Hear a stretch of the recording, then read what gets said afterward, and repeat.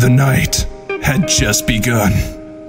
I heard my footsteps echo down the alleyway, like the pavement was trying to convince me the Mafia was just dust in a memory. But like an elephant on 9 11, I never forget.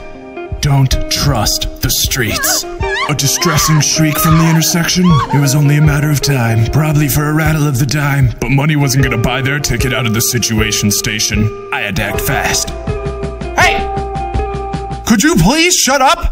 Crisis averted. There was no way I was gonna glean clues with people screaming in my ear, so I went to the one place I know I could find the truth. What's going on, Gino? Gino always had a funny way about him. One moment you're trying to order your classic pep pep pepperoni pizza, the next moment he's coming out from behind the counter with a baseball bat. Sometimes, in order to find the spider, you have to walk right into their web. Their spider web. Excuse me, sir. I'm a private investigator. I was wondering if I could ask you a couple of questions. Something about this man was strikingly familiar, but I couldn't. Mm, yeah, looks like you're using a mobile device, buddy. Better fucking switch that shit out ASAP, pal. Yeah.